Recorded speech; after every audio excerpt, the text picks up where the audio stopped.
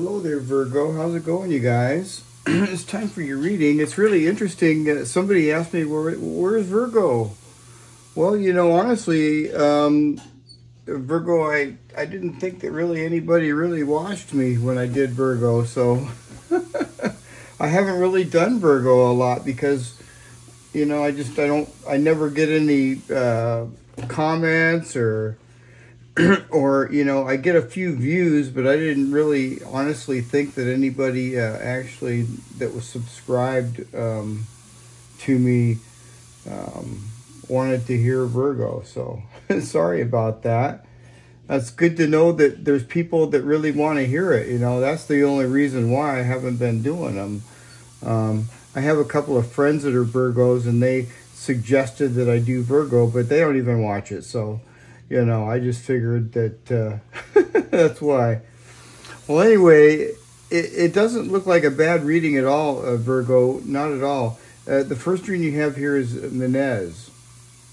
And Mannaz is, is um, you know, it can, if you know anything about tarot, um, Mannaz is kind of like the, um, like the hermit card. You know, you're going within, you're spending time alone, all right?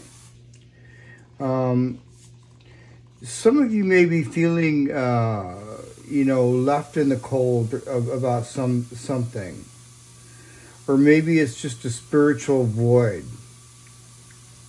Um, Kenaz also in reverse. This is Kenaz, by the way, uh. And when so Kenaz is in reverse, it could be also that maybe something is ending. All right. And if anything is ending, it's, it's going to be for the higher good. So um, keep that in mind, all right? And this is just a temporary little thing here with Kenaz feeling a little bit out in the cold, you know, kind of feeling maybe spiritually voided or something like that. Um, but, uh, I mean, th- that, you know, you've got the sun right here, so you can see very clearly, all right? So just kind of like with Mannaz in reverse, it's, it's telling you to kind of, especially when you have it twice, it's telling you to for sure, uh, you know, go deep within. Spend some time alone. Get away from, from what, you know, whatever, if you can, all right? And spend some time alone. Um, you know, uh, I kind of feel that, uh, you know, it's necessary sometimes. And, you know, Virgo, I'm a Piscean, and Pisces love to go into hermit mode. so it's like nothing new for me. But uh, this is really uh, uh, good for you, all right? And with the sun next to it, like I said, everything's crystal clear. And, and you have some wonderful blessings see, see you have Gebo. And this is blessings, uh, Virgo. This is blessings or gifts. And, you know, you are going to see victory. You are. See, you have Kenaz over here in the correct form. And this is victory and success. All right?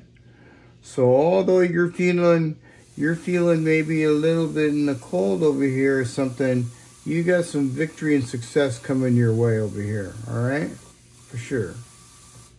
And then uh, it's next to Jera, which is really quite interesting because you have it twice. And uh, Jera is success. It's success through hard work. It's it's and it's like it's positive. It's like uh, kind of like surprise. Bam, here you go. This is like, um, this has something to do with your money. Look at this. You got the, the Page of Pentacles. This is starting something new. Uh, the pages are always starting something new.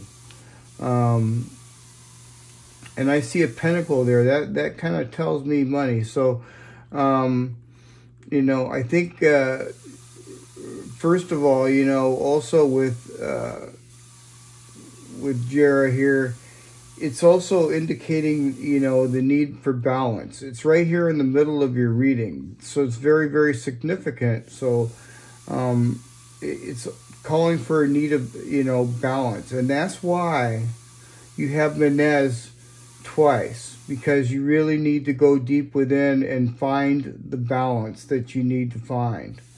All right. Um, yeah. And then with Wunjo here in reverse, I feel that, um, you know, uh, not to, uh, don't, don't do anything, uh, you know, hasty or anything. Don't, uh, don't make any, don't make any decisions. Don't make any, any, any rash decisions or, or anything like that. Okay. And there could be maybe some sort of a misunderstanding with, you know, maybe somebody in a relationship as well with Wunjo in reverse. So maybe there's some sort of tension, uh, you know, concerning a relationship as well. And that's another reason why you're going deep within. yeah, but don't worry, you got some good things coming here. You got some good news coming with Page of uh, Pentacles. This is good news. So, um, yeah. Let's get you uh, um, one of these Moonology cards. And also, Virgo, I wanted to let you know I'm going to be setting up a schedule. I haven't done it yet, but um, I'm going to um, start setting up schedules and I'm going to put it on the front page and you'll know what day, you know, that I'm going to be uh, doing the uh, your reading. Also, if you turn the notification bell on, you know, you'll know too, but you keep I didn't I really I'm really sorry. I didn't realize I had somebody watching me that that wanted to see Virgo. Uh, what's going on here with Virgo? Ah. first quarter moon in Taurus. Release control. Release control Virgo. All right release control and go deep within and uh, you know you'll find your balance I I know it I see I see Jera here twice, all right? And then look at this at the bottom of the deck. It says release your blocks. So, I mean, release your blocks, release your control. So this is all about going deep within and finding balance. All right there, Virgo. All right. Well, I hope you enjoyed your reading. And if you haven't already, uh, please like, share, and subscribe. And uh, and uh, whoever that was that sent me the message, thank you. I appreciate it. All right. Well, I'll see you guys again next week. I'm going to be doing the, these every week now, so don't don't sweat. Every every week it's going to be coming up. All right, Virgo. All right then. You guys have a good one. I'll see you guys next week. Bye for now.